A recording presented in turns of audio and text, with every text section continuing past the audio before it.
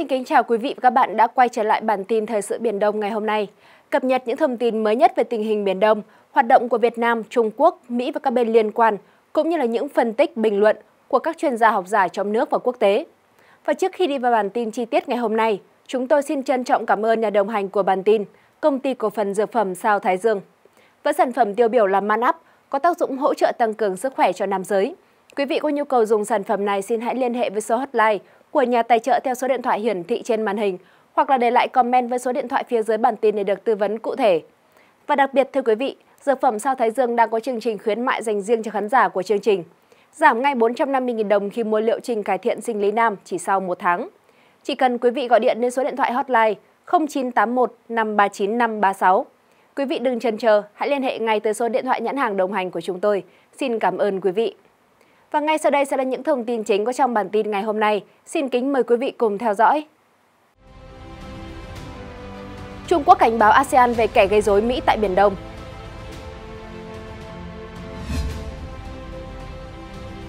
Dân quân biển, lực lượng hung thần của Trung Quốc tại Biển Đông. Bước đi pháp lý mới của Việt Nam ở Biển Đông.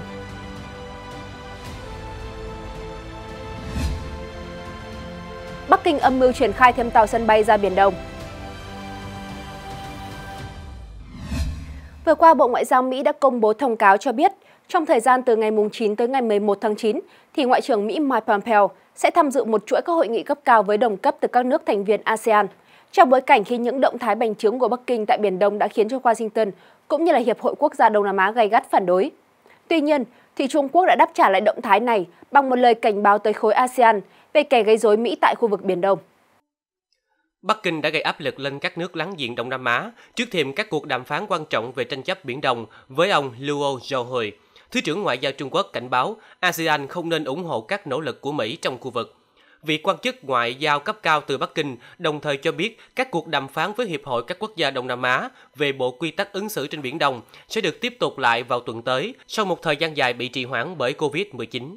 Được biết, các cuộc đàm phán bắt đầu từ năm 2002 nhưng đã bị đình trệ do Bắc Kinh khăng khăng rằng các quốc gia bên ngoài khu vực cần được loại trừ khỏi bàn đàm, một ám chỉ rõ ràng về phía Mỹ. Các quốc gia ASEAN giờ đây đang bị giằng co giữa hai siêu cường thù địch trong bối cảnh nguy cơ xảy ra đối đầu toàn diện trong khu vực ngày càng gia tăng.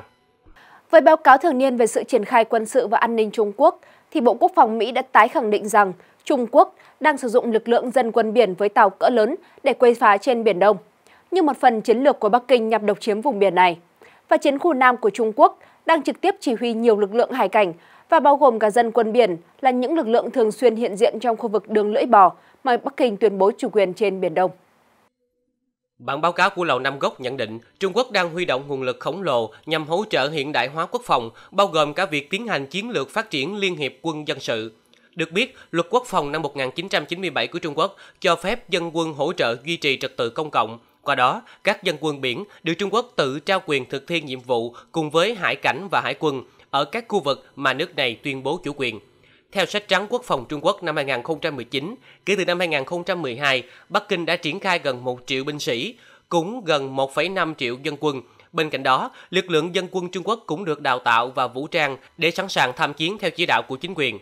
Tại Biển Đông, dân quân biển Trung Quốc đóng vai trò quan trọng để thực thi các mục tiêu của Bắc Kinh. Tuy nhiên, thông qua lực lượng này, Trung Quốc có thể tránh sự chỉ trích từ việc sử dụng lực lượng quân sự, song vẫn tiến hành các hoạt động quấy phá. Thực tế, dân quân biển của Trung Quốc đứng sau nhiều nhiệm vụ quan trọng ở Biển Đông. Điển hình là vụ cản trở tàu khảo sát USNS Impeccable năm 2009, sự cố ở rạn san hô Scarborough năm 2012 với Philippines, hay vụ Trung Quốc điều động giàn khoan Hải dương 981 xâm phạm chủ quyền Việt Nam năm 2014. Năm 2019, hình ảnh thực địa cũng cho thấy các tàu dân quân đã hộ tống tàu khảo sát Hải dương địa chất số 8 của Trung Quốc xâm phạm chủ quyền Việt Nam. Hiện nay, một số lượng lớn tàu dân quân biển của Trung Quốc tham gia huấn luyện chung và hỗ trợ giải phóng quân gây bất ổn trên Biển Đông. Các hoạt động này thường núp bóng các sứ mệnh dân sự như bảo vệ tuyên bố chủ quyền hay bảo vệ tàu cá của Trung Quốc. Chính quyền Trung ương Trung Quốc thậm chí đã cung cấp ngân sách cho dân quân biển thông qua các tổ chức thương mại ở từng địa phương. Theo báo cáo của Bộ Quốc phòng Mỹ, dân quân biển Trung Quốc thường thuê tàu cá tư nhân. Không chỉ có kích thước lớn, các tàu này còn được gia cố thân tàu và bổ sung thêm kho chứa đạn.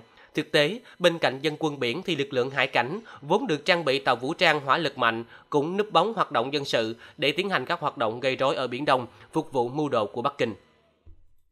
Trong thời gian vừa qua thì đã rộ lên các thông tin về việc Việt Nam đề cử các trọng tài viên và hòa giải viên nhằm thực hiện quyền và nghĩa vụ của các quốc gia thành viên Công ước Liên Hợp Quốc về luật biển năm 1982. Giới quan sát nhận định rằng hành động đề cử này chứng tỏ Việt Nam đang quan tâm hơn đến phương diện pháp lý trong vấn đề giải quyết tranh chấp tại Biển Đông.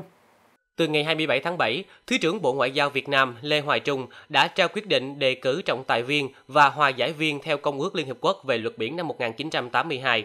Theo đó, bốn đề cử cho vị trí hòa giải viên gồm ông Phạm Quang Hiệu, trợ lý Bộ trưởng Bộ Ngoại giao, đại sứ Huỳnh Minh Chính, nguyên phó chủ nhiệm Ủy ban Biên giới Quốc gia, đại sứ Nguyễn Thị Thanh Hà, nguyên vụ trưởng vụ luật pháp và điều ước quốc tế và đại sứ Nguyễn Quý Bình, nguyên phó chủ nhiệm Ủy ban Biên giới Quốc gia, nguyên vụ trưởng vụ luật pháp và điều ước quốc tế. Trong khi đó, các vị trí trọng tài viên được đề cử bao gồm Phó giáo sư tiến sĩ Nguyễn Hồng Thao thuộc Học viện Ngoại giao, thành viên Ủy ban Pháp luật Quốc tế Liên Hợp Quốc, nguyên Phó chủ nhiệm Ủy ban Biên giới Quốc gia, Phó giáo sư tiến sĩ Nguyễn Thị Lan Anh thuộc Học viện Ngoại giao, tiến sĩ Nguyễn Đăng Thắng, vụ trưởng Ủy ban Biên giới Quốc gia, Bộ Ngoại giao, thành viên Tòa trọng tài thường trực quốc tế và giáo sư Robert Beckman, giám đốc chương trình luật và chính sách đại dương, Trung tâm luật quốc tế Đại học Quốc gia Singapore. Vào ngày 6 tháng 8, Đại sứ quán Việt Nam tại Singapore đã tổ chức buổi lễ chính thức trao quyết định đề cử của Bộ Ngoại giao cho giáo sư Beckman. Đại sứ Việt Nam tại Singapore Tào Thị Thanh Hương nhấn mạnh rằng đây là lần đầu tiên trong lịch sử Việt Nam đề cử một người nước ngoài cho vị trí quan trọng này. Vừa qua, tờ Hoàn Cầu Thời báo, một trong những cơ quan ngôn luận chính của chính quyền Trung ương Trung Quốc, đã dẫn các nguồn thạo tin cho biết tàu sân bay Sơn Đông sẽ được triển khai tới căn cứ Du Lâm sau đợt huấn luyện dài gần một tháng ở Vịnh Bột Hải. Du Lâm vốn là một trong những căn cứ quan trọng tọa lạc ở cực nam đảo Hải Nam hướng thẳng ra Biển Đông. Sơn Đông là tàu sân bay nội địa đầu tiên của Trung Quốc, sau tàu sân bay Liêu Ninh được mua từ Ukraine. Theo Hoàn Cầu Thời báo ngày 3 tháng 9, cả hai hãng hàng không mẫu hạm này đều đã được triển khai ra biển đảo cho cuộc diễn tập tàu sân bay lớn nhất trong lịch sử của Trung Quốc. Rút kinh nghiệm của tàu Liêu Ninh, tàu Sơn Đông có nhiều cải tiến và được trang bị máy bay chiến đấu J-15 thế hệ mới. Các hình ảnh trên mạng cho thấy tàu Sơn Đông rời cảng Đại Liên vào ngày 1 tháng 9 với các tiêm kích J-15 và trực thăng Z-8 trên bòn. Theo Hoàng Cầu Thời báo, đợt huấn luyện kéo dài tới hết tháng 9 sẽ kiểm tra khả năng tích hợp chiến đấu cơ của tàu Sơn Đông. Trung Quốc được cho là đã phát triển thành công một loại sơn mới giúp máy bay trên tàu không bị ăn mòn khi hoạt động trên biển. Li Jia, một chuyên gia hải quân Trung Quốc cho biết, tàu Sơn Đông có thể tới thẳng căn cứ Du Lâm trên đảo Hải Nam sau khi kết thúc huấn luyện. Một chuyên gia khác thì cho rằng tàu sẽ ghé cảng Đại Liên ở Liêu Ninh để điều chỉnh một số thứ trước khi ra Biển Đông. Ông Lee cho rằng đây là một bước đi nhằm tạo ra thế gọng kìm với đảo Đài Loan và bảo vệ eo biển Malacca trong trường hợp cần thiết. Báo cáo của Bộ Quốc phòng Mỹ về quân đội Trung Quốc đã cảnh báo rằng Bắc Kinh sẽ tăng cường hiện diện quân sự trên Biển Đông, đồng thời dự đoán tàu sân bay Sơn Đông sẽ được dùng nhằm án ngữ vùng biển quần đảo Hoàng Sa của Việt Nam. Theo Lầu Năm Góc, hướng lợi thế từ các thực thể chiếm đóng trái phép trên Biển Đông, Trung Quốc đang hướng tới nâng cao năng lực viễn chinh, các nước trong khu vực có thể sẽ sớm thấy sự xuất hiện ngày càng tăng của tàu sân bay, tên lửa diệt hạm và thủy quân lục chiến Trung Quốc ở các vùng biển tranh chấp. Kính thưa quý vị và các bạn, thông tin vừa rồi cũng đã kết thúc bản tin thời sự Biển Đông ngày hôm nay của chúng tôi. Cảm ơn sự quan tâm theo dõi của quý vị và các bạn. Để cập nhật theo dõi những thông tin thời sự quốc tế mới nhất, cũng như là các thông tin quan trọng về tình hình Biển Đông và trong khu vực, thì quý vị đừng quên nhấn like, share và đăng ký trên kênh. Xin kính chào tạm biệt và hẹn gặp lại quý vị trong các bản tin tiếp theo.